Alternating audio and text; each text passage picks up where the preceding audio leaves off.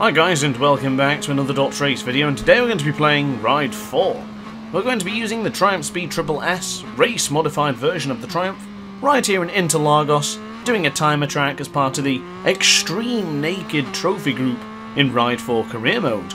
Now I'm very close to earning enough affinity with the Triumph to become one of the official Triumph tested riders so here we are using the Triumph once more and also I've seen this Triumph I'm a big fan of the Speed Triple S, so why not see what the race modified version is like? And to tell you what, it's gorgeous, it's beautiful, it's fast, it's sleek, it's bloody brilliant. I must say I'm really, really enjoying it, and I'm liking the all-white livery sort of thing. I'm actually rocking the uh, Dr. Ace 500 subscriber helmet there as well. Of course, uh, 500 subscriber is a far cry from where we are now, with a solid 750 plus or something like that now doing extremely well, so I appreciate all the support. Of course, if you are a fan and you haven't subscribed yet, I'd be very grateful if you could hit that button for me and maybe chuck in a little like in there as well if you would. But doing the Extreme Naked Trophy Group is going to include this time attacking Interlagos, which, to be honest with you, is pretty easy enough. Interlagos is not one of my favourite tracks. It's a track that I will not do under duress, but uh, I will gladly skip it if it comes up available. But I'm glad to be doing it every now and again and just giving it another bash. And as you can see, we're going to absolutely dominate this time trial here. The target to beat was a 137.4, and we're going to beat it with less than 134. So now we're here at Road America on board the Triumph. Very excited for this race. So the countdown begins now. And it is go time! Here we go! Starting from the back of the grid, of course. There's, oh my goodness, carnage already! I'm going to avoid the action, and I'm also going to wait for these guys. And let's see if we can catch them up on board this Triumph Speed Triple S. As Bradley Hooper, who was originally back marker, has now been replaced by myself. And now I will replace him for 11th spot.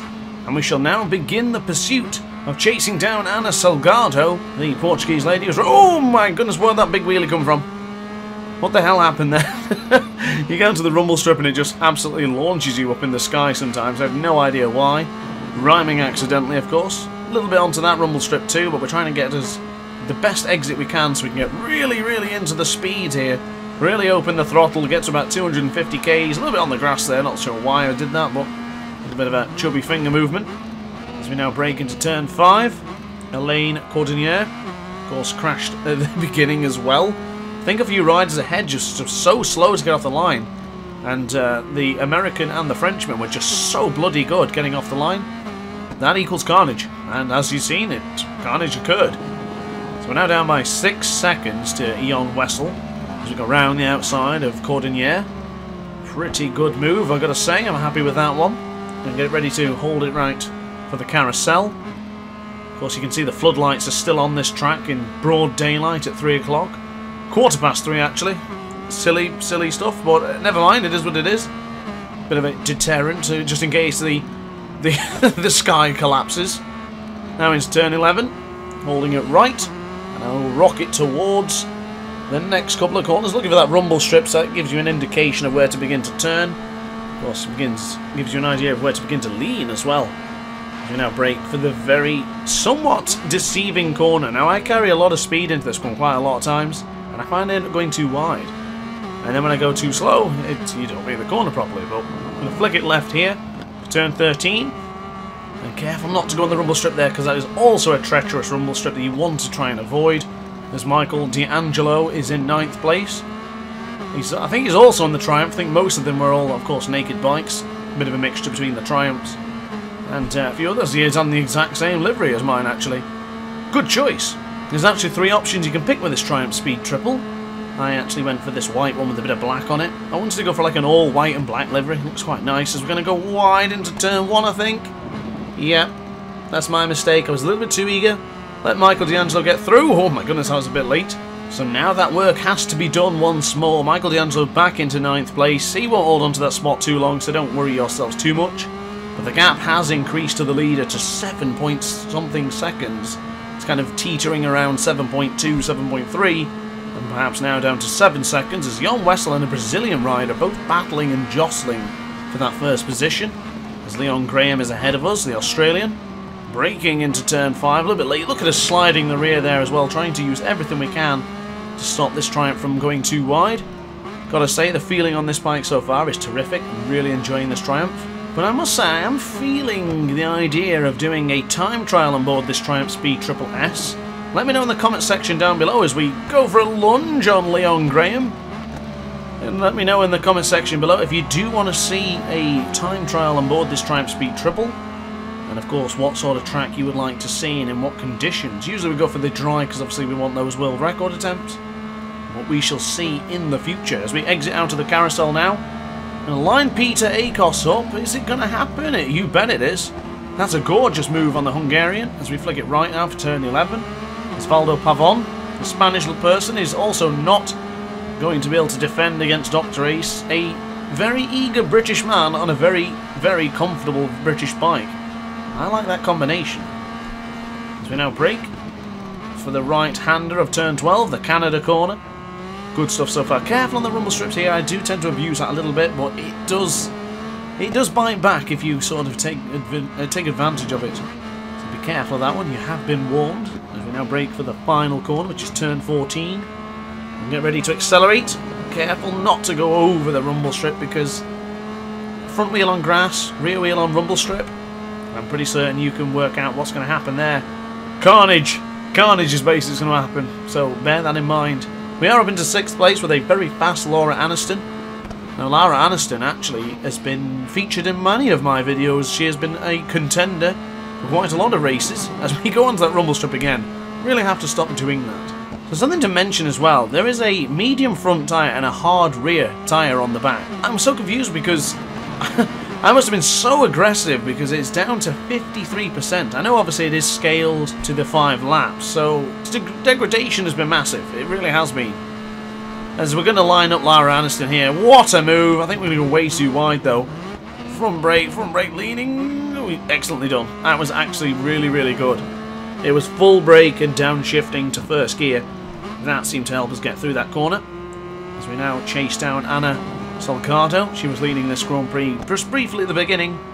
Clearly she couldn't hold on to that sort of lead. She now brake into the very tight left-hander of turn 8 once again. Looking and probing for a move all the time. It's going to happen here. It certainly is. Anna Salgado, take my fifth place, love, and I will have your fourth. But you know, I may have taken fourth place from you, but it's still not suiting Dr. Ace, so perhaps I'll chase down Eddie McDowell and trade him a fourth for a third. It's an offer he can't refuse, and it's an offer he won't be able to refuse because in any moment now, I'm going to get into his slipstream, chase him down, and offer him the grand prize of fourth place. Constantly pushing forward. This is one of those races that, because I left myself so late, it's actually getting quite tight now because it's three seconds to the leader and we only have two laps remaining.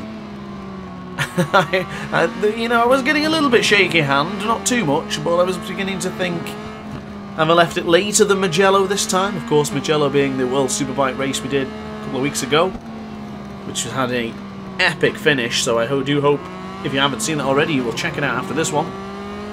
As we are now getting into the slipstream of Eddie McDowell, the American in his home track. He is sitting comfortably on the podium for now, but not for much longer as we go take a lovely look at that Triumph. I must say, it's absolutely stunning. Triumph make wonderful naked bikes, probably the best naked bikes in my opinion. Probably a little bit biased because it's British, but hey ho. We make a move on the American and we now take third place. Edna Canto, she's in second with Jan Wessel. It's still two seconds to the leader, and we are on the penultimate lap, so we're going to have to make some lunges soon. It, it's an arduous job. It's not a job that we can't tackle.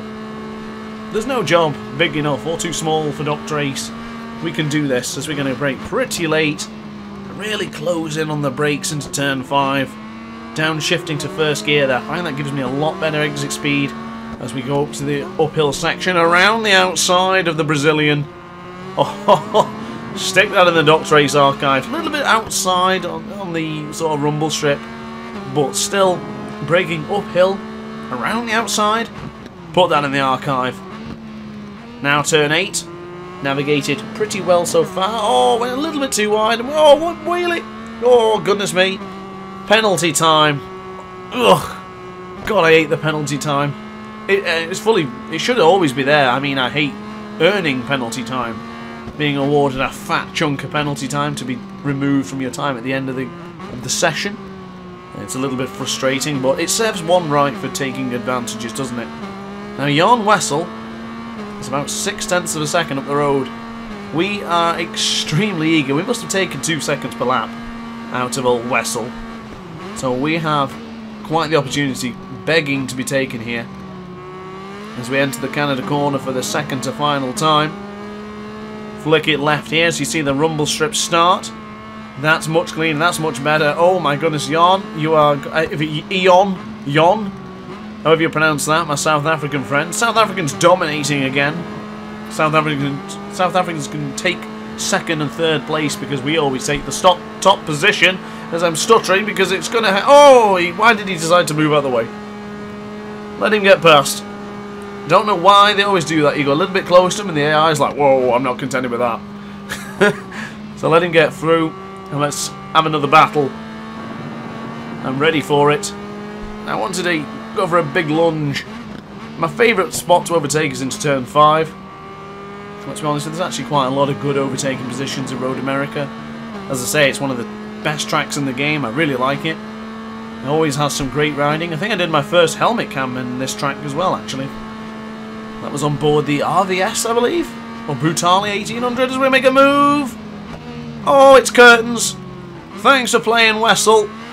Dr. Ace into the lead on board the Triumph Speed Triple S. As we now flick it left underneath the Corvette sign, a little bit wide. Quick flick to the left from the right analog stick just to confirm that Wessel is not going to be having a lunge. Nothing audacious trying to chuck it up at the inside of Dr. Ace. That's not going to happen. So we're going to enter turn 8 as the leader of this Grand Prix, and quite comfortably now actually, by about seven tenths of a second. But you know me, we don't stop. We, we, we should never falter, we should never start taking it easy once we have the lead. We should take this opportunity with both hands and convert that into a trophy and convert that into a lift as we then etch our name onto the history books as another Dr. Ace victory beckons us. We're one second ahead up the road now, it's only a matter of time, 1.2 actually. Wessel, you must have used everything. I'm sure you gave it your best shot, but it just wasn't enough. We did lose a lot of time on that one, but you can see on the map, actually, in the bottom left-hand corner, the difference between each rider. There's quite a gap. Usually it's not that massive, but there's quite a gap brewing there as the fast lap of the race is a 2 minute 12 seconds and 78 thousandth of a second. I don't think that's going to be touched here, considering we're already 2 seconds slower. But nonetheless, we have no more corners to navigate because turn 14 was successful. Quick peek behind. Not going to go for a wheelie, I'm just going to literally absolutely fire it across the line as we can celebrate another Dr. Ace victory. Very pleased with this bike and very pleased with this particular trophy group. Definitely check it out. It's under the Extreme Naked trophy group. So guys, as always, thank you very much for watching. Please like, comment, subscribe if you enjoyed. And I shall see you next time. Ciao for now. Oh hi! Didn't quite see you there. Good to see you're still here. If this video didn't quite set your appetite, then why not watch some more Dr. Ace content by clicking the video shown on screen now. Furthermore, if you would like to follow me on social media, you can do so now, with the links down in the description. Consider subscribing so you don't miss a single Dr. Ace video.